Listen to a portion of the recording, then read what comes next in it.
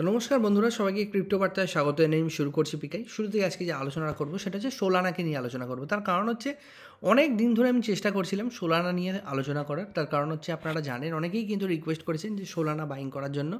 এবং সোলানা কত দূর জিতে পারে বুলরানি, সেসব নিয়ে কিন্তু ডিটেলসে আলোচনা করব। এবং আপনারা জানেন, বর্তমানে কিন্তু মার্কেটের অবস্থা অত্যন্ত খারাপ। এবং মার্কেট কিন্তু বলা যায় বিয়ারিশ মোডে কিন্তু আবার যাওয়ার চেষ্টা করছে। এবং মার্কেট কিন্তু পুরো বলা যায় রেড হয়ে আছে। যখন কিন্তু বলা যায় সোলানা পাম্প করছিল এবং সোলানা কিন্তু বলা যায় একটা দারুণ মুভমেন্টে ছিল। তখন সোলানা মোটামুটি একশো ডলারের ওপরে সবাই কিন্তু বাইং করতে চেষ্টা করছিল। বর্তমানে বিরাশি ডলারের প্রাইস হয়ে গেছে। এই সময় দাঁড়িয়ে কিন্তু সোলানা নিয়ে কোনো রকম হাইপ নেই এবং আগামী দিন আমি যে মানে হলপ করে বলতে পারি, আমি, মোটামুটি যে জায়গায় সোলানা প্রাইসটা গেছিল একশো একুশ ডলার, বাইশ ডলারের কাছাকাছি এবং সেখান থেকে মোটামুটি আপনারা দেখতে পাচ্ছেন যে মোটামুটি বিরাশি ডলারের কাছাকাছি চলে এসছে এবং আপনারা যদি দেখেন যে সত্তর থেকে চুয়াত্তর ডলার বা সাতাত্তর ডলারের মধ্যে আমি বলেছি ফার্স্ট এন্ট্রি সোলানার মধ্যে কিন্তু নেওয়া যায় এবং যদি ফিফটি ডলার প্রাইসে যদি সোলানাকে পাওয়া যায়, সেক্ষেত্রে কিন্তু বিশাল বড় ব্যাপার হতে পারে এবং ফিফটির বলা যায় ফিফটি থেকে সিক্সটির মধ্যে কিন্তু দারুণ এন্ট্রি সোলানাতে হতে পারে এবং আগামী দিন সোলানা থেকে কিন্তু দারুণ একটা প্রফিটের সম্ভাবনা কিন্তু থাকছে। কেন থাকছে? কীরকম থাকছে? এবং এটা আমি, নিয়ে আমি একটু ডিটেলসে বলতে চেষ্টা করব। তো যখন সবাই কিন্তু একটা কয়েন নিয়ে আলোচনা করে, যখন কিন্তু বলা যায় এই জায়গায় সোলানা ছিল, একশো কুড়ি ডলার দশ ডলারের কাছাকাছি, তখন কিন্তু মোটামুটি সোলানাকে নিয়ে হাইপ পড়ে গেছিল এবং সেই জায়গায় কিন্তু ম্যাক্সিমাম মানুষ এন্ট্রি নিয়েছেন, অনেক এন্ট্রি নিয়েছেন।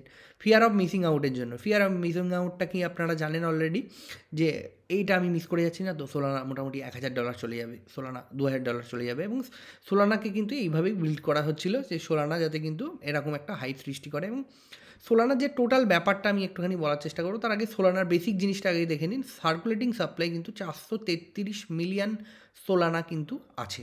এবং সব থেকে বড়ো যেটা কোশ্চেন আসছিল সোলানা কি ইথিরিয়ামকে বিট করে চলে যাবে? সোলানা মোটামুটি নাম্বার টু যে জায়গাটা, সেটা কিন্তু নিয়ে নেবে। প্রাইসে নয়, অবশ্যই মার্কেট ক্যাপে কিন্তু বিট করতে পারে। তো এরম কিন্তু অনেক কিছু নিউজ আসছিল এবং বলা যায় অনেক কিছু জিনিস বলা হচ্ছিল। এবং তখনও কিন্তু ভিডিও বানিয়ে বলেছিলাম যে সোলানার ইথিরিয়ামকে বিট করা অসম্ভব এবং এখনও কিন্তু তাই বলছি ইথিরিয়ামকে বিট করা সোলানার কিন্তু অসম্ভব। তাই বলে সোলানা যে প্রফিট দেবে না, বা সোলানা থেকে কিন্তু হিউজ প্রফিটের সম্ভাবনা নেই, এমনটা কিন্তু ভাবাও ভুল। সোলানার ইকোসিস্টেম কিন্তু দারুণ গ্রো করছে এবং সোলানা ইকোসিস্টেমে কিন্তু বলা যায় নতুন নতুন যে কয়েনগুলো লঞ্চ হয়েছে সেগুলো কিন্তু অনেক বেশি ভালো এবং পোটেনশিয়াল যুক্ত কয়েন সোলানার ইকোসিস্টেমে কিন্তু যুক্ত হচ্ছে এবং সব থেকে বড় কথা সোলানা যখন কিন্তু আট ডলারে ছিল, তখন যারা বাইং করেনি তারা কিন্তু অনেকেই পোষতেছেন এবং বলা যায় নিজেদের কাছেই বলেছেন যে, না, সোলানা কেন বাইং করিনি? এবং বর্তমান সময়ে বিরাশি ডলার দেখছেন। এই সময় কিন্তু বাইং করতে হিচকিচা হচ্ছে। কারণ তার কারণ হচ্ছে যে, একশো ডলার একশো কুড়ি ডলার কিন্তু সোলানা সেখান থেকে ঘুরে এসছে এবং এই জায়গায় দাঁড়িয়ে কিন্তু অনেকের মনে হচ্ছে সোলানা আরও ডাউন হবে আরও ডাউন হলে কিনবো। তো প্রপার প্ল্যান থাকতে হবে। সোলানা যদি আপনি কিনতে চান, তাহলে কিন্তু প্রপার প্ল্যানটা আমি বলব। যদি না কিনতে চান, সেক্ষেত্রে কোনো অসুবিধা নেই। এমনটা ভাবার কোনো কারণ নেই। সোলানাতে এমন ক্র্যাশ আসবে, সোলানা আবার আট ডলারে চলে যাবে। বা সোলানা এরকম হয়ে যাবে। তো এটাই হচ্ছে ব্যাপার। বিটকয়েন ডাউন হবে। বিটকয়েন ডাউন অনুযায়ী কিন্তু বলা যায় সোলানাও ডাউন হবে এবং বিটকয়েন বর্তমানে উনচল্লিশ হাজার ডলারের কাছাকাছি আছে এবং বিটকয়েন যদি এখান থেকে বত্রিশ হাজার ডলারের কাছাকাছি আছে, সেক্ষেত্রে অল্ড কয়েনগুলো যেগুলো আছে, আপনারা দেখতে পাচ্ছেন, সেগুলো কিন্তু সমস্ত কয়েন শুধু সোলানা নয়, সমস্ত কয়েন কিন্তু ব্লিড করবে।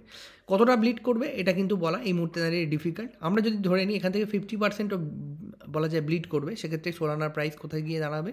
মোটামুটি বলতে পারি আমরা একচল্লিশ ডলারের কাছাকাছি, চল্লিশ একচল্লিশ ডলারের কাছাকাছি গিয়ে দাঁড়াবে। এখন যদি কেউ ভাবেন এটা দেখে যে আমি চল্লিশ ডলারে সোলানা কিনবো, সেক্ষেত্রে কিন্তু আপনি আবারও ভুল ভাবছেন। তার কারণ হচ্ছে, আমরা এটা প্রেডিক্ট করতে পারি, যেখান থেকে ফিফটি পার্সেন্ট ডাউন হবে। কিন্তু আমরা কখনোই এটা বলতে পারি না, এখান থেকে ফিফটি পার্সেন্টই ডাউন হবে সিক্সটি পার্সেন্ট হবে না, বা বলা যায় যে থার্টি পার্সেন্ট ডাউন হবে। ম্যাক্সিমাম থার্টি পার্সেন্ট ডাউন হবে না। তো আমরা মানে আমরা সবাই প্রেডিক্ট করতে পারি, কিন্তু জায়গাটা আমি যেটা বললাম, যে এখান থেকে যদি আমরা মোটামুটি সোলানাকে সত্তর থেকে পঁচাত্তর ডলারের বা সাতাত্তর ডলারের মধ্যে বা ফার্স্ট বাইং নিই ফার্স্ট এন্ট্রি নিই, সেক্ষেত্রে আমার মনে হয় ফার্স্ট এন্ট্রি ওই জায়গায় ঠিকঠাক হবে এবং যদি পঞ্চাশ ডলারের নিচে বা পঞ্চাশ ডলারের কাছাকাছি পাই, সেক্ষেত্রে কিন্তু সেকেন্ড এন্ট্রি দারুণ হতে পারে। এটাই হচ্ছে মূল ব্যাপার সোলানা কেনার জন্যে। এখন দেখতে হবে সোলানার পোটেনশিয়াল কতটা আছে। এখন আপনারা যদি দেখেন সোলানার উপর যে প্রজেক্টগুলো বিল্ড হয়েছে, আপনারা অলরেডি জানেন, বড় বড় যে প্রজেক্টগুলো আমরা যদি দেখি, সেক্ষেত্রে আমরা বলতে পারি প্রথম যে কয়েনটার নাম বলব, সেটা হচ্ছে আমরা পাইট নেটওয়ার্ক দারুণ একটা প্রজেক্ট সোলানার বলা যায় যে জায়গাটায় নতুন এসছে এবং সোলানা ইকোসিস্টেমে কিন্তু নতুন জুড়েছে পাশাপাশি কিন্তু জিটো কয়েনটা জিটো কয়েনও কিন্তু বলা যায় নতুন এসছে এবং পাশাপাশি আমরা যদি দেখি বেশ কিছু নতুন কয়েন কিন্তু মার্কেটে এসছে। স্যারস থেকে শুরু করে বেশ কিছু নতুন কয়েন এবং মাইরো এই কয়েনটাও কিন্তু বলা যায় মিম কয়েন পরবর্তী মিম কয়েন যেটা কিন্তু বলা যায় বাইন্যান্স লিস্টিং পেতে পারে বঙ্কের পরে। সেক্ষেত্রে কিন্তু এই কয়েনটার দিকেও নজর রাখতে পারেন এবং অনেক বেশি পাম্প হয়ে আছে। এই সময় আমি বলছি বলে আপনারা গিয়ে কিনে নেবেন, এরমটা কিন্তু করবেন না। নেক্সট যে কয়েনটার কথা বলব সেটা হচ্ছে আমরা যদি বলি জিটোর কথা। জিটো কয়েনটা দারুণ একটা পোটেন্সিয়াল আছে আগামী বুলরানের জন্য। যদিও কিন্তু এই ধরনের কয়েন টোটালি ডিপেন্ড করে তার ইকোসিস্টেমের সোলানা যদি দারুণ কিছু করে, সেক্ষেত্রে কিন্তু জিটেও দারুণ পারফরমেন্স দিতে পারে। এবং সোলানা যদি অ্যাভারেজ করে, এবং বলা যায় সোলানা যে অল টাইম হাই আড়াইশো ডলারের কাছাকাছি বলা যায়, তো সেক্ষেত্রে সেটাকে যদি বি ব্রেক করতে পারে সোলানা সেক্ষেত্রে কিন্তু এইসব কয়েনের দারুণ পোটেন্সিয়াল থাকবে। ফার্স্ট টাইম ইন বুলরান সেই জন্য কিন্তু আরও বেশি পোটেন্সিয়াল থাকবে। এবং একটা জিনিস মাথায় রাখবেন এর যে আনলক সেটাও কিন্তু হতে থাকবে এবং সেক্ষেত্রে কিন্তু বলা যায় বুল মার্কেটে আনলকের খুব একটা এফেক্ট কিন্তু পড়ে না, কিন্তু বিয়ার মার্কেটে অনেক বেশি পড়ে। তো এখান থেকে যদি মার্কেট ডাউন হয় এবং তার সাথে যদি জিটোর আনলক হয়, সেক্ষেত্রে কিন্তু একটা ফ্যাক্টর কাজ করবে। তো এটাই হচ্ছে ব্যাপার। এর যে ইকোসিস্টেম যখন কোনো কয়েন পাম্প করবে, তার যে ইকোসিস্টেম সেটাও কিন্তু বলা যায় পাম্প করবে এবং যে কয়েন ডাম্প করবে, তার ইকোসিস্টেমও কিন্তু মোটামুটি ডাম্প করবে। তো সেক্ষেত্রে আমরা যদি দেখি বঙ্ক বঙ্ককে আনাই হয়েছিল সোলানাকে বাঁচানোর জন্য এবং বঙ্ক কিন্তু বলা যায় যে অল টাইম হাইটা হিট করেছে, সেখান থেকে কিন্তু বলা যায় সেভেন্টি পার্সেন্টের কাছাকাছি বর্তমানে ডাউন এটা কিন্তু আরও ডাউন যাবে মার্কেট যদি এখান থেকে ডাউন যায়। তো সেক্ষেত্রে দারুণ এন্ট্রি কিন্তু বঙ্কের প্রাইসও হতে পারে, যেহেতু ফার্স্ট টাইম ইন বুলরান হতে যাচ্ছে। এখন ব্যাপার হচ্ছে সোলানা তো ঠিক আছে, সোলানার প্রাইস কত যেতে পারে এটাকে আমাদের আগে দেখতে হবে। সোলানা কেন পাম্প হয়েছিল সেটা আগে জানব। সোলানা যে কারণে পাম্প হয়েছিল সে কারণ, কারণটা হচ্ছে মূল কারণ যেটা, সোলানার ওপর কিন্তু বড় বড় যে ইনভেস্টাররা তাদের অনেক বেশি পয়সা কিন্তু সোলানাতে লেগে আছে। এবং তারা একটা জায়গার পর গিয়ে কিন্তু সেল করবে। এখন ব্যাপার হচ্ছে সোলানা যদি এখান থেকে এক হাজার ডলার চলে যাবে, এটা যদি কেউ মনে করেন, তাহলে কিন্তু আমার মনে হয় একটু বেশি হয়ে যাচ্ছে, যেতেও পারে, না যাওয়ার কোনো অসম্ভব মানে অসম্ভব কোনো ব্যাপার নয়।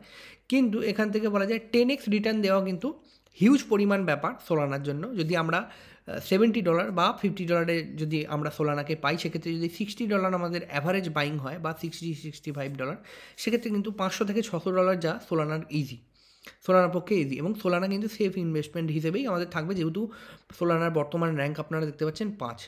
তো কেউ যদি five to ten X return easily পেতে চান, সেক্ষেত্রে কিন্তু সোলানাতে অবশ্যই ইনভেস্ট করতে পারেন এবং সোলানা কিন্তু আগামী দিনে যেহেতু বলা যায় যে ইথেরিয়ামের পরে যে ব্লক চেনটা নিজের ইকোসিস্টেমে একটা দারুণ জায়গায় বিল্ড করেছে, পাশাপাশি যে বড় ইনভেস্টাররা আছে, তারা কিন্তু দারুণভাবে ইনভেস্ট করছে, যেমন কয়েন বেস আমরা বলতে পারি। পাশাপাশি আমরা যদি বলি ফিডিলিটির সাথে শোনা যাচ্ছে সোলানার একটা ভালো জায়গা হয়েছে আগামী দিন কিন্তু। এমনটা হতে পারে সোলানার ইটিএফও আসতে পারে, এটাও কিন্তু কানাঘুষো শোনা যাচ্ছিল। সেক্ষেত্রে তার জন্যে কিন্তু বলা যায়, একটা দারুণ জায়গা হতে পারে। আগামী দিনে গিয়ে যদি এমনটা কিছু হয়, যদি ইটিএফের নিউজ আসে, সেক্ষেত্রে কিন্তু সোলানা বিয়ন্ড কিন্তু আটশো ডলারের ওপরেও কিন্তু যেতে পারে। তো সেক্ষেত্রে যদি আমরা দেখি টেন টু বলা যায় five to ten X return কিন্তু মিনিমাম দেওয়া উচিত নেক্সট বুলরানে সোলানার তো ইজি ইনভেস্টমেন্ট হতে পারে। আশা করি আপনাদের সবার কাছে ক্লিয়ার হয়েছে কোন জায়গায় আমরা সোলানা বাইং করব। দুটো পার্ট আমি বলে দিয়েছি যে পঞ্চাশ এবং বলা যায় সত্তর। এই দুটোর নিচে যদি আসে, সেক্ষেত্রে কিন্তু বোনাস তিন পার্ট তিন পার্ট বাইং পাওয়া এই মুহূর্তে দাঁড়িয়ে কিন্তু আমার মনে হয় অনেকটা বেশি অসম্ভব সোলানার জন্য। তো দেখা যাক কী হয়। মার্কেট যদি এখান থেকে অনেক বেশি ডাউন যায়, সেক্ষেত্রে কিন্তু এমনটা হতে পারে। যদি এখান থেকে খুব একটা বেশি ডাউন না হয় মানে যেটা সম্ভাবনা হচ্ছে বেশি, খুব একটা বেশি মানে এখান থেকে হিউজ ফিফটি পার্সেন্ট ডাম্প হয়ে যাওয়ার সম্ভাবনা এখান থেকে অনেক কম। তো দেখা যাক আগামী দিনে কী হতে চলেছে। তো অবশ্যই সোলানা কিন্তু আটশো ডলারের কাছাকাছি কিন্তু যেতে পারে। সোলানার যে প্রাইভেট ইনভেস্টাররা আছে এবং বলা যায় যে বড় বড় ইনভেস্টমেন্ট সোলানার পেছনে আছে এবং অনেক বড় বড় লোকেদের হাত কিন্তু সোলানার পেছনে আছে, সেই কারণেই কিন্তু যেতে পারে। আদারওয়াইজ কিন্তু যে সোলানার যে প্রিভিয়াস বুলরানের সময় যে পোটেন্সিয়াল ছিল, সেই অনুযায়ী যদি দেখি সোলানা কিন্তু ফাইভ হান্ড্রেড ডলারের কাছাকাছি যাওয়া উচিত। তো ধন্যবাদ সবাইকে, আশা করি সব বুঝতে পেরেছেন। এবং দেখতে থাকুন ক্রিপ্টো বার্তা দেখা হচ্ছে নেক্সট ভিডিওতে অবশ্যই চ্যানেল সাবস্ক্রাইব করুন।